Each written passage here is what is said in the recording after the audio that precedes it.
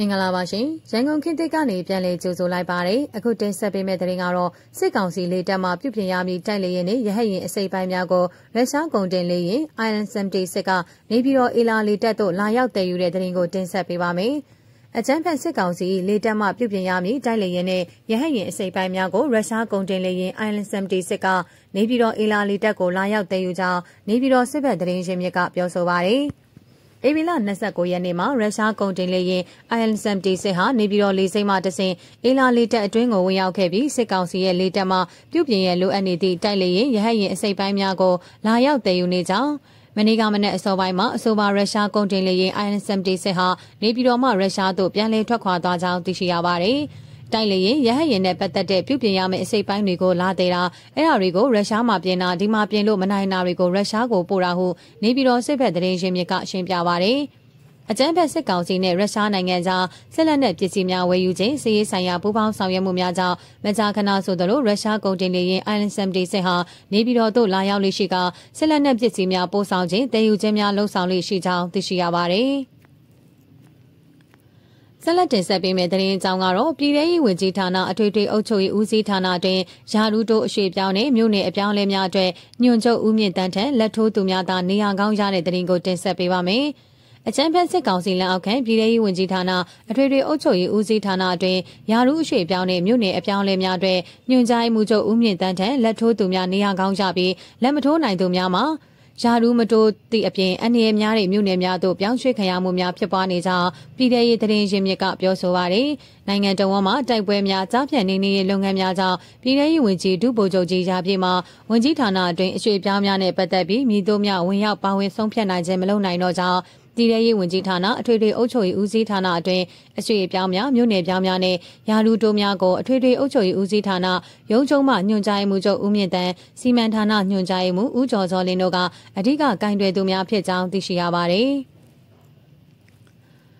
ဌာနရင်းမှာညွန်ချုပ်ဦးမြင့်တန်းနဲ့စီမံညွန်မှုကျော်စောလင်းကတမင်းစားသူများမဟုတ်ဘဲပြောင်းစားသူများလို့ခေါ်ကြတယ်သူတို့ကခိုးစားစရာမလိုအတိုးစားနေသူတွေပေါ့ပြောင်းစားဆိုတာကအရာတန်းအမှုတန်းတွေကိုဟိုပြောင်းဒီပြောင်းလုပ်တာကိုစီးပွားဖြစ်လောက်ကင်နေကြလို့ပြောင်းစားနေကြသူများဟုတတ်မှတ်ခံရပြီးနာမည်ကြီးတာနောက်တစ်ခုကတော့ယာလူတိုးလောက်ရမှာလဲစီးပွားဖြစ်လောက်ကင်နေကြသူတွေပေါ့ညွန်ချုပ်နဲ့စီမံညွန်မှုစီပေးထားကမ်းမထားလို့ကတော့ဘယ်အစ်စ်နဲ့ဘလို့ပြောထားလဲယာလူမတိုးဘူးယာလူကိုတိုးမပေးပဲနှီးပေါင်းစုံနဲ့ညှစ်ထားတာအဲဒါကြောင့်သူတို့နှစ်ဦးကိုပြောင်းစားသူအတိုးစားသူလို့ခေါ်တာပေါ့ဟုပြည်ထောင်ရေးသတင်းရင်းမြစ်ကရှင်းပြပါဗျ။လာမယ့်မေလအတွင်းမှာလက်ထောက်ညွှန်ကြားမှု AD မှဒုတိယညွှန်ကြားမှု DD တို့ယာလူတိုးပေးမယ်26နေရာရှိပြီးရင်းနေရာများကိုလိုချင်သူများအနေနဲ့ယခုကလေးကလက်ထိုးကြရင်ညွှန်ချုပ်ဦးမြင့်တန်းနဲ့စီမံညွှန်ကြားမှုကျော်စောလင်းတို့ကနှီးဆက်သောအတိုင်းဝိုင်းများမှတဆင့်နှိုးဆော်ထားကြောင်းသိရှိရပါတယ်။ အခုမေလာထဲမှာလည်း AD မှဒီဒီယာရူတို26ဦးရှိမယ်နေရာကောင်းလိုချင်သူတွေငွေပေးရမယ်ငွေမပေးတဲ့သူဆိုရင်ယာရူတိုမစင်စားပေးဘူးပေါ့နောက်တစ်ခါမြို့နယ်အုပ်ချုပ်ရေးမှုအပြောင်း300လောက်ကိုတစ်ချိန်100ဦးလောက်နဲ့3ချိန်ခွဲပြောင်းမှုရှိတဲ့နေရာကောင်းရချင်ငွေပေးရမယ်ကျောင်းစားသူနဲ့အတိုးစားသူစီမဆက်တရင်တော့ဘာမှမရဘူးဆိုတာမျိုးဖြစ်နေတယ်ဟုပြည်ထောင်ရေးသတင်းရှင်မြစ်ကဆိုပါတယ်။ ပြည်ထောင်ရေးဝန်ကြီးဟောင်းဒုဗိုလ်ချုပ်ကြီးစိုးထွတ်လက်ထက်ကလည်းညွန်ချုပ်ဦးမြင့်တန်းနဲ့စီမံညွှန်မှုတို့မှလစဉ်ဂါဝရပြုချေပေးခဲ့ကြရပြီးယခုဝန်ကြီးသစ်ဒုဗိုလ်ချုပ်ကြီးရှားပြည့်လက်ထက်မှာလည်းဂါဝရကြီးပေးရသည်ဟုဆိုကအပြောင်းရွှေ့များနဲ့ယာရုတိုးများထံမှနီလန်းများစွာဖြင့်ငွေကြေးတောင်းခံမှုများဖြစ်ပေါ်လာကြောင်းသိရှိရပါတယ်။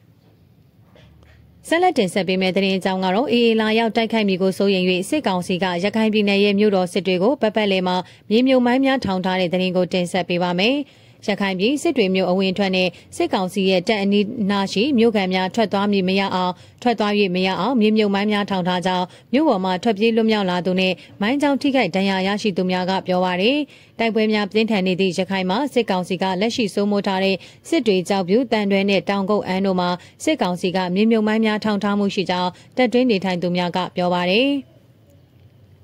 ရင်းထဲမှာစစ်တွေမျိုးအဝင်ထွက်တက်ထိန်ဂိတ်စက်ရုံစုရက်ကွက်မှာအမတ်စနစ်ရဲတပ်ရင်စက်ရိုးကြတရားအနီး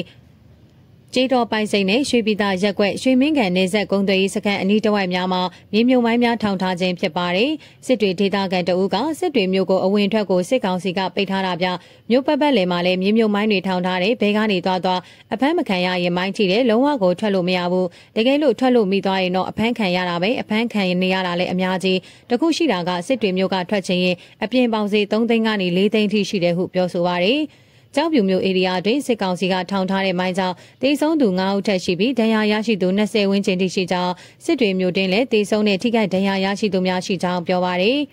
ထို့ပြင်စစ်တွေမျိုးလက်ရှိအခြေအနေမှာဒေသခံများအနေနဲ့ဝမ်းရည်အလောက်ကန်များကိုလည်းလောက်ကန်ခွင့်မရတော့ခြင်းကုန်စည်နှုန်းလည်းအဆမတန်မြင့်လာခြင်းဖြစ်တယ်လို့စစ်တွေမျိုးကန်တအုပ်ကပြောပါရယ်လုံနေကြအလုပ်တွေလည်းလုပ်ခွင့်မရကြတော့ဘူးအပြင်ထွက်ရင်လည်းချောင်းနေ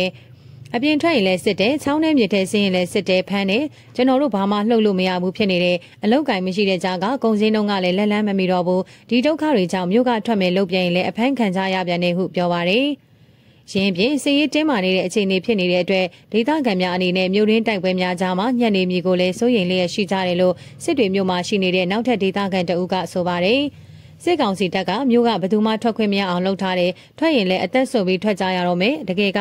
နှစ်ဖက်တိုက်ပွဲကြားမှာမညံ့ရအောင်ပြည်သူတွေကိုမြို့ကနေအပြင်ကိုတောင်ခေါ်ထုတ်တင်တာအခုကအပြင်မထုတ်တဲ့အပြင်ပိတ်လောင်ထားတဲ့ပြည်သူကိုဘယ်သူမှဂယုမဆိုင်ကြဘူးဟုပြောပါရယ် ထို့ကဲ့သို့ဆုံးခွာကြရမှယခုလပိုင်းထဲမှာစစ်ကောင်စီတပ်မှမြို့မှထွက်ခွာသည့်ထွက်ပေါက်များအလုံးကိုပိတ်ဆို့လိုက်ပြီးရေချောင်းသွားလာရေးခြင်းများဖြစ်တဲ့ပုံများကိုလည်းမိရှို့ဖျက်ဆီးလိုက်ခြင်းကရုတံမှန်များအားလည်းတင်စီခြင်းများလှုံ့ဆော်ခဲ့ပါတယ်။ထို့အခြေအနေကြားမှာလက်ရှိမြို့ရင်းပိတ်မိကျန်းရှိနေတဲ့ဒေသခံများမှာမြို့မှထွက်ခွာနိုင်ရန်နီလန်အမျိုးမျိုးဖြင့်ကြိုးပမ်းကြရမှာစစ်ကောင်စီထံဖမ်းဆီးခံရကတရားစွဲဆိုခံရမှုများရှိနေကြောင်းစစ်တွေမြို့ကန်များထံကသိရပါတယ်။ ရင်းဖြင့်ပြီးခဲ့တဲ့ AB လ20ရက်နေ့ကလည်းကြေးတော်ဘက်မှနေ၍မြို့မှထွက်ခွာရန်စ조사သူတချို့မှစစ်ကောင်စီတပ်မှထောင်ထားတဲ့မိုင်းနေမိ၍တက်ကြီးပိုင်းအမျိုးသမီး2ဦးသေဆုံးကအများပြားထိခိုက်ဒဏ်ရာရရှိမှုများရှိခဲ့ကြောင်းသိရှိရပါတယ်။ဆက်လက်တင်ဆက်ပေးမယ့်သတင်းအကြောင်းကတော့လောင်းလုံးတွင်၄နိုင်ကြာတိုက်ပွဲဖြစ်ပြီးနောက်စစ်ကောင်စီတပ်မြို့ထဲပြန်ဆုတ်တဲ့သတင်းကိုတင်ဆက်ပေးပါမယ်။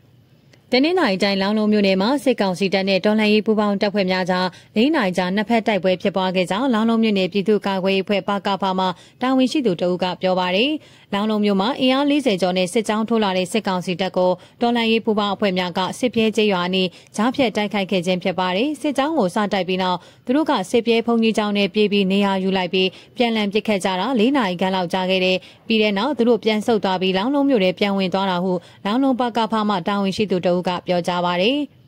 တိုင်ခိုင်မှုအတွင်းစစ်ကောင်စီတပ်ဖက်မှထိခိုက်သေးဆုံးမှုအခြေအနေကိုမသိရသေးပဲတော်လှန်ရေးပူးပေါင်းတပ်ဖွဲ့မှရဲဘော်တအူမစိုးရိမ်ရဒဏ်ရာရရှိကြောင်း၎င်းကဆက်ပြောပါရယ်အထက်ပါစစ်ကောင်စီတပ်စစ်ကြောင်းဟာ AB 23ရက်ကလည်းစစ်ကောင်စီတပ်တမော်တစီကိုဒေါ်လာရေးတပ်ဖွဲ့များရဲ့တိုက်ခိုက်ခံရမှုကြောင့်လောင်လုံးမြို့နယ်စစ်ပြေးကျေးရွာဘက်ကိုရောက်ရှိလာတဲ့စစ်ကြောင်းဖြစ်ပြီးလက်ရှိမှာမြို့ပေါ်ကိုပြန်ဆုတ်သွားတယ်လို့သိရပါဗျ။